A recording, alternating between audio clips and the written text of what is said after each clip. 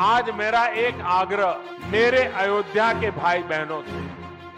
आपको देश और दुनिया के अनगिनत अतिथियों के लिए तैयार होना।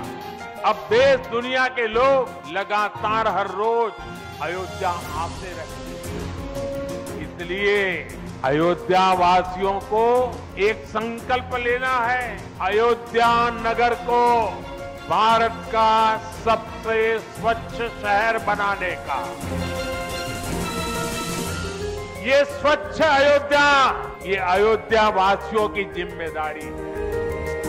देश भर के लोगों से मेरी प्रार्थना है, भव्य राम मंदिर के निर्माण के निमित्त एक सप्ताह पहले 14 जनवरी, मकर संक्रांति के दिन से पूरे देश के छोटे मोटे सब तीर्थ स्थलों पर स्वच्छता का एक बहुत बड़ा अभियान चलाया जाना चाहिए। हर मंदिर हिंदुस्तान के हर कोने में हमें उसकी सफ़ाई का अभियान मकर संक्रांति 14 जनवरी से 22 जनवरी तक हमें चलाना चाहिए।